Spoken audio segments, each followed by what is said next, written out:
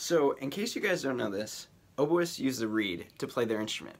And today I'm going to try something different. I'm going to use three reeds on my instrument and play it at the same time and see how it sounds.